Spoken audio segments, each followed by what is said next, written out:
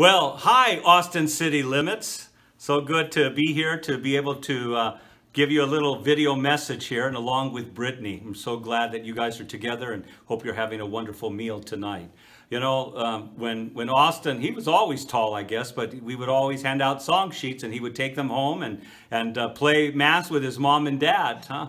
be able to hand those out. And, uh, you know, one of the things is that it was really sweet and sour when he was pitching for Notre Dame Prep and they played the championship game against Sunnyslope. And it was really conflictive to really cheer him on because he you pitched so well, Austin City but also, you know, just that, you know, wanting Sunnyslope to do good, but I was really happy for you. And that was a great time. And then watching you at uh, U of A. And I still always love telling your parents and you that I had the popcorn and root beer ready to go, sitting down watching you pitch against Oregon State, and you barely made it through half an inning. So that wasted time, you know, so that was a waste of time in that. But Brittany, glad to have you aboard there and uh, be able to learn how to be a Boston fan, to learn how to cheat, huh? and how to be cheering for the Red Sox and for the Patriots as well. But it is definitely a city of champions. And so Austin and uh, Brittany, we're just so proud of you and, and we're so glad that um, you're part of uh, the family and celebrating and getting married. And we just pray for you and wish you happiness and joy